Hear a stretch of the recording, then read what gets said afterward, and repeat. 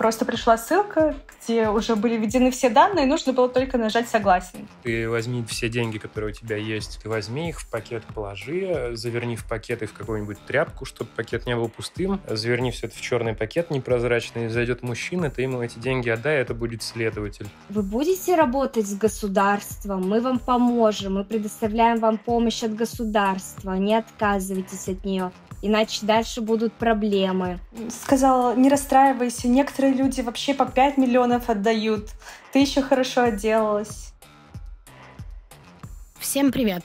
Вы слушаете подкаст «Не надо» от портала «Такие дела». Здесь мы исследуем социальные явления, от которых стоит держаться подальше. Цель этого подкаста — рассказать вам про то, что точно не надо делать. Или как избежать проблем, о которых мы тут говорим. Меня зовут Тася Шеремет. На протяжении нескольких лет я вела небольшой блог про науку и общество в одной экстремистской соцсети, затем стала журналисткой, а теперь веду этот подкаст. И в этом эпизоде мы поговорим о том, как работают финансовые мошенники и как можно им противостоять. Этот эпизод выходит при поддержке международной юридической компании GSL Law and Consulting.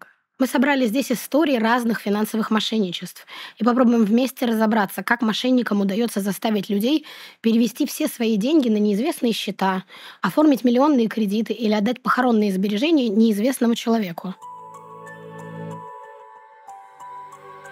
Не надо.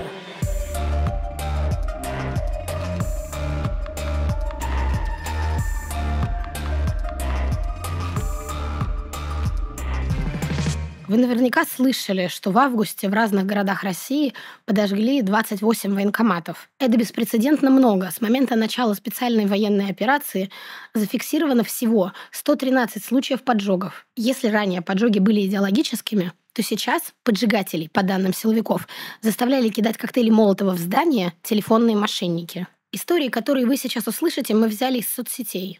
Воронежская область. 24-летняя учительница истории Ольга П. бросает коктейль Молотова в военкомат в городе Россош.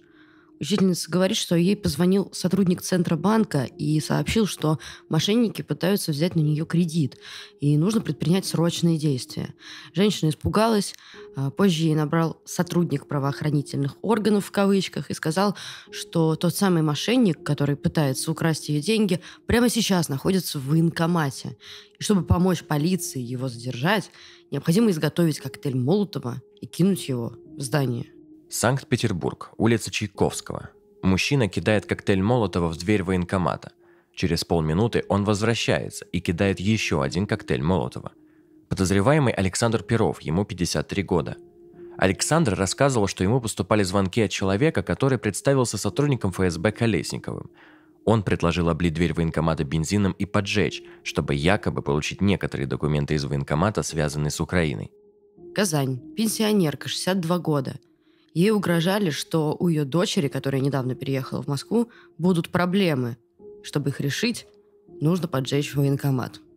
Десятки людей, которые повелись на эту мошенническую схему, сейчас ждут серьезные сроки. Например, против 82-летней жительницы Волгограда уже возбудили уголовное дело, по которому ей грозит до пяти лет колонии. Вот как психолог Александр Мирошниченко объясняет, почему во времена нестабильности мошенничество сразу начинает расцветать мошенники пользуются нагнетанием эмоциональной напряженности, то есть динамично нужно человека вывести из спокойного, стабильного состояния в некоторую напряженность э, эмоциональную и страх, страх потерь, необходимость принять э, незамедлительные решения. И, конечно, внешняя обстановка, будь то пандемия, будь то мобилизация, будь то э, экономические кризисы, скачки доллара и так далее – Мошенники всеми этими общеизвестными проблемами пользуются, опираются на них, а дальше уже раскачивают э, обстановку насколько могут.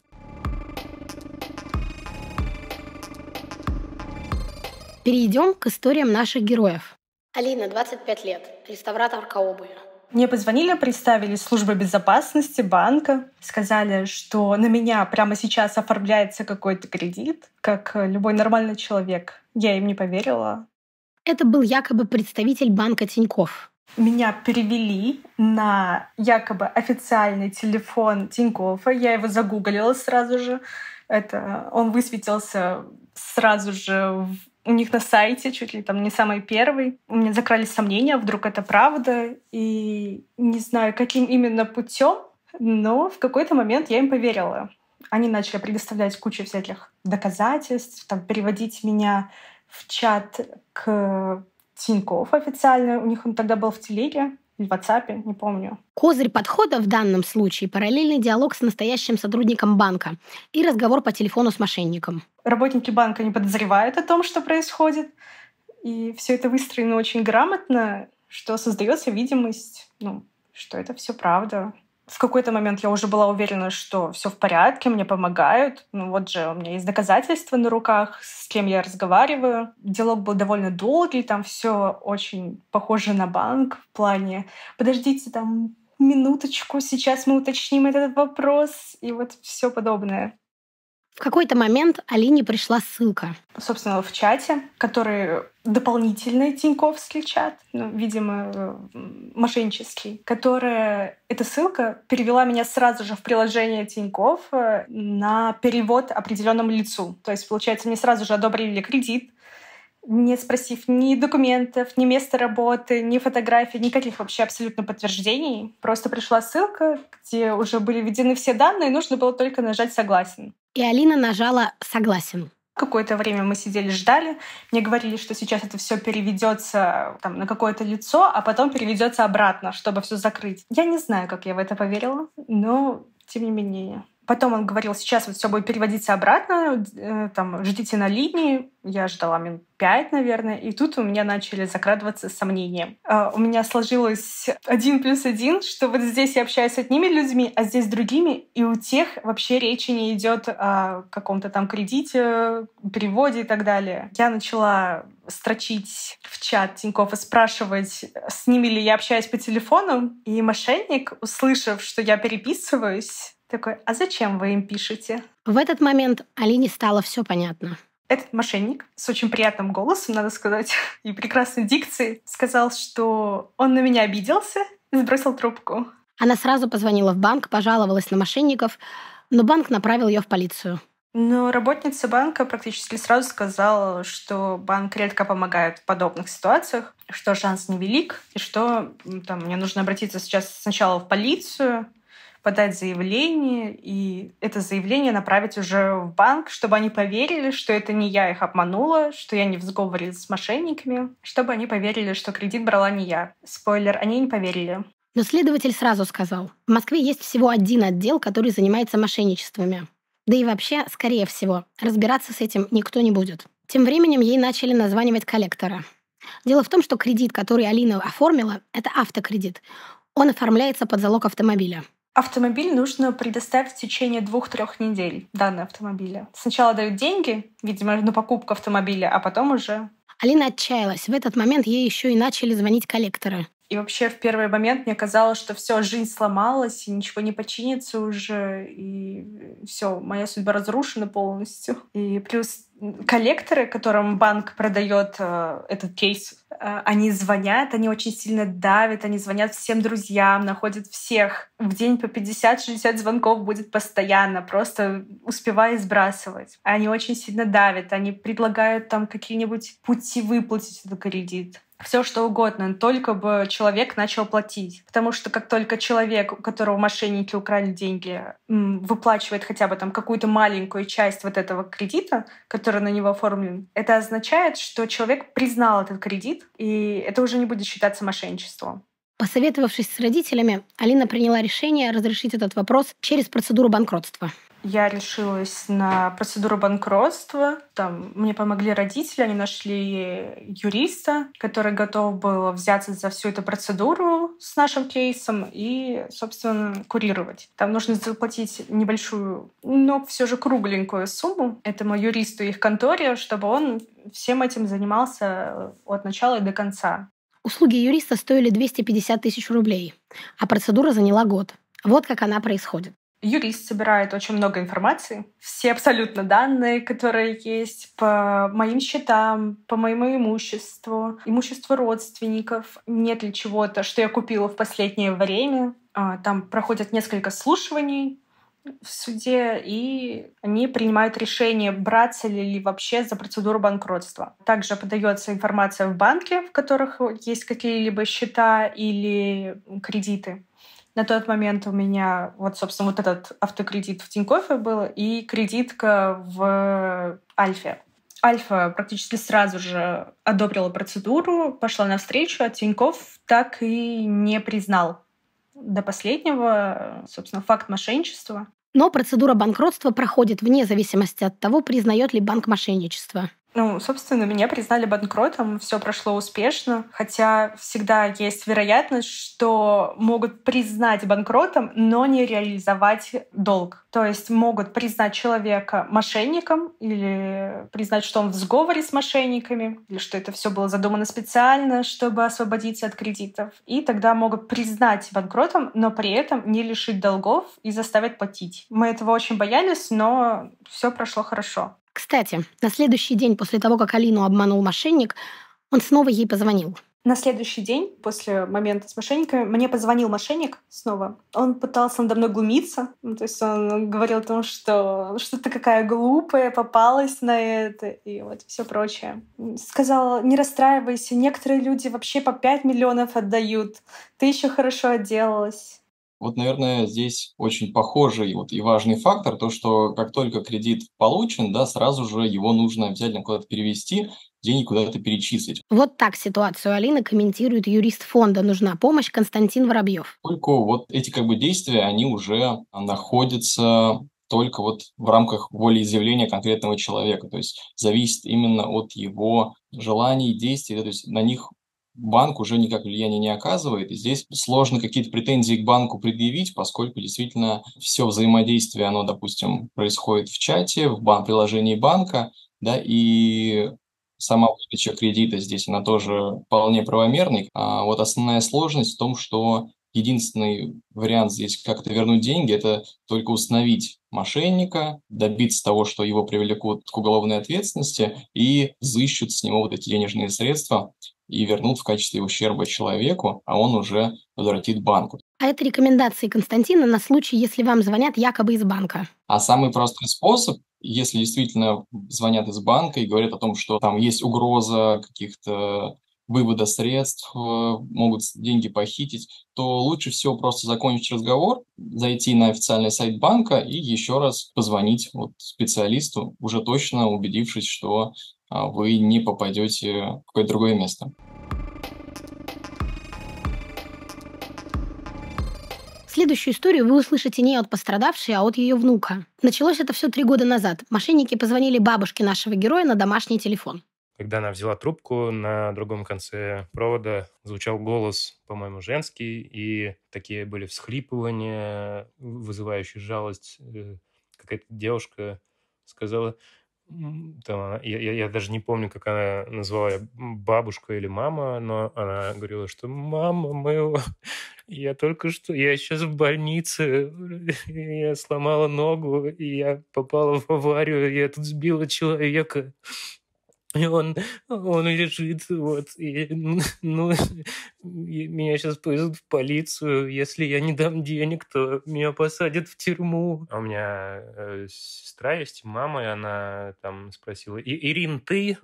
Как бы уточнив. Идея мошенников понятна. Люди старшего поколения могут не разобрать телефонную речь, особенно если связь плохая. Я, то есть, да, это я. Бабушка подумала на то, что это то ли ее внучка, то ли это ее дочь. И там, что делать дальше? Вот ей сказали, сейчас зайдет человек, ты возьми деньги, которые у тебя, все деньги, которые у тебя есть, ты возьми их в пакет, положи, заверни в пакет и в какую-нибудь тряпку, чтобы пакет не был пустым, заверни все это в черный пакет непрозрачный, зайдет мужчина, ты ему эти деньги отдай, это будет следователь. Мошенники делают ставку на то, что сделать все нужно очень срочно, прямо сейчас. Это давит на человека, так что времени подумать совсем не остается. Вот как это комментирует психолог Александр Мирошниченко. А когда э, звонок совершается здесь и сейчас, э, задача у мошенника застать врасплох и принудить э, к немедленной реакции, э, что нужно именно сейчас э, произвести оплату. Только сейчас можно спасти ситуацию, спасти свои средства, и никогда больше. То есть здесь эффект вот этой неожиданности, срочности, он, конечно же, играет свою роль. Вернемся к истории бабушки Романа.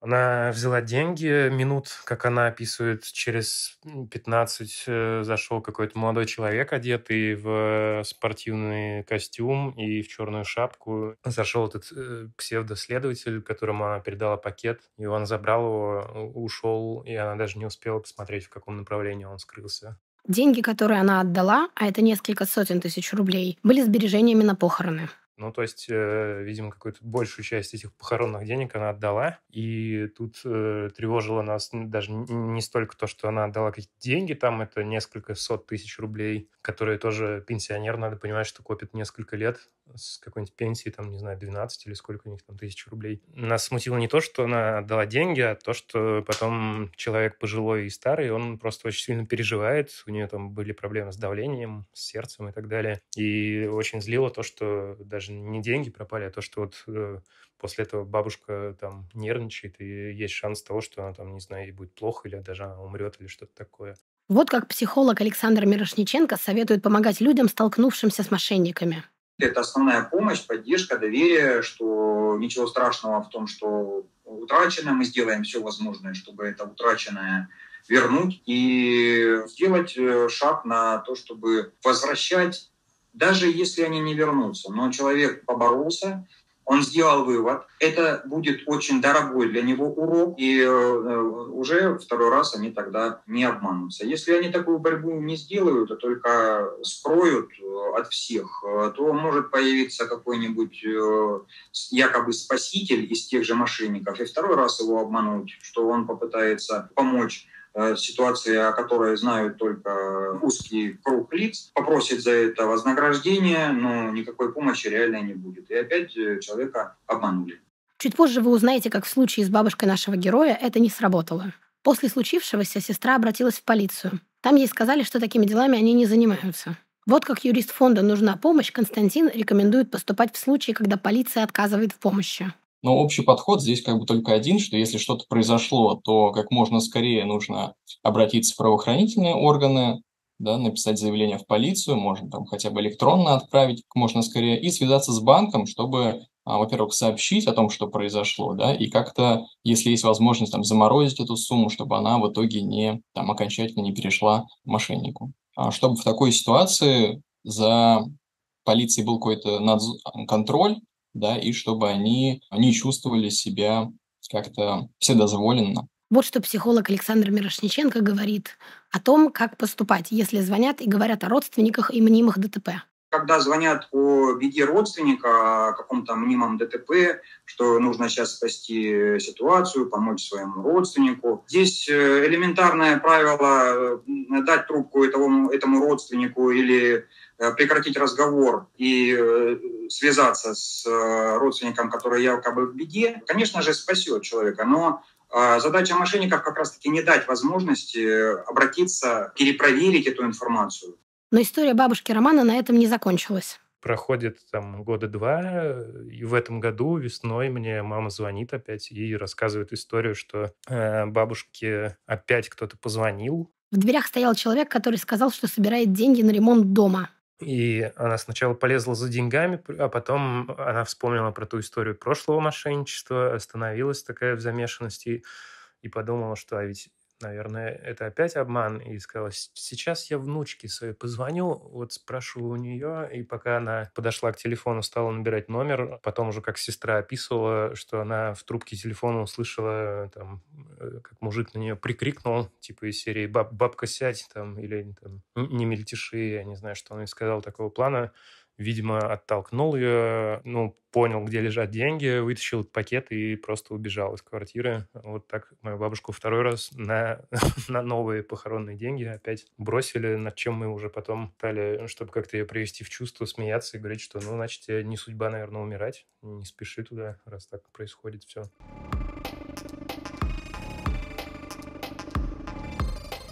Альбина, 19 лет. Однажды ей позвонил сотрудник якобы ВТБ банка и сказал, что на нее пытаются оформить кредит. Мне звонок на телефон приходит. Говорят, вот мы из банка, на вас пытаются мошенники оформить кредит, я после этого сбросила трубку сразу. И тут же мне перезванивают еще раз и говорят, Альбина Эдуардовна, а зачем вы сбросили трубку? И здесь я уже немного напряглась, я подумала, а почему они мне перезвонили? А вдруг это правда, ну, кто-то из банка мне звонит? Мошенники сказали, что обращаться в отделение банка бессмысленно. Изначально я подумала, раз на меня пытаются взять кредит, я обращусь специально в отделение банка. И здесь меня стали отговаривать, говорят, нет, только не туда, не обращайтесь, вам там не помогут, вас отправят куда-то подальше. Дальше голос в телефоне сказал, что Альбину перенаправят в Центральный банк. Там ее начали разводить активнее. Меня направили в Центральный банк, представляются, говорят, мы знаем ваши паспортные данные, ну, счет. Они смотрели, что я захожу в приложение банка и называли мое устройство, с которого я делала вход. Они говорят, вот, такое-то устройство выполнило вход в такое-то время. Я говорю, да, это мое устройство. Я не понимала, как как это вообще возможно, как это произошло. Смутно помню, но каким-то образом мне сказали, что вот, вам еще на госуслугах нужно поменять пароль, мы вам поможем. И вышло так, что я сообщила код, который пришел мне на телефон сообщением. Я этот код сообщила им от госуслуг. Подумала, ну ладно, может и помогут. Веру в происходящее подкрепляло давление со стороны звонившего. Как я помню, на меня давили, говорили, вы будете работать с государством, мы вам поможем, мы предоставляем вам помощь от государства, не отказывайтесь от нее, иначе дальше будут проблемы. Если на вас вдруг возьмут кредит, мы уже вам ничем помочь не сможем, и вам придется самим оплачивать какие-то кредиты, то, что вы не брали. Я подумала, хорошо, буду тогда сотрудничать, раз предлагают помощь. Дальше больше. Мошенники попросили Альбину зайти еще и в Сбербанк. Они снова называли устройство, с которого она заходит, доказывая таким образом, что они действительно сотрудники банка. В приложении Сбера они попросили ее проверить, на какую сумму ей готовы выдать кредит. Дальше, да, я зашла в Сбербанк, меня попросили проверить, на сколько мне выдают кредит. Максимальную сумму там было 255 тысяч. И мне в это время говорят, что вот, это самая максимальная сумма, на которую пытаются взять кредит на ваше имя мошенники. Но все это время я сомневалась, говорила, да ну как-то я не особо вам верю. И тут же мне начинали говорить, что ну вы же не маленькая девочка, вы же все сами понимаете. Мы же не просим у вас три цифры на обороте карты. И тут я подумала, ну правда, прошлый век не просят. Думаю, ну хорошо, ладно.